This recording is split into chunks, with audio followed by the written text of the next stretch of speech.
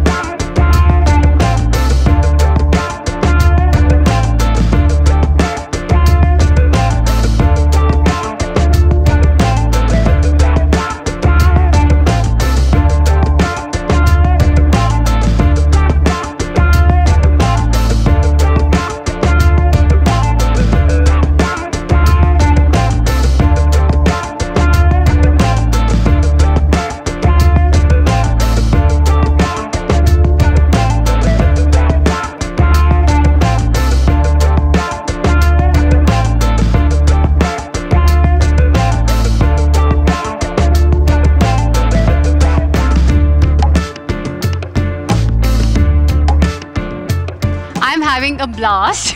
Great people here from Berger, from IndiBlogger. All the teams are super cool. I'm having a blast today, right? It's certainly good to know and write something about and making people aware, right, what all has come up today. So, really happy to be a part of this. What a colorful day we had today. It was so much fun going back to childhood, painting, sandwood, doing a lot of things, and I'm just going back with lovely memories.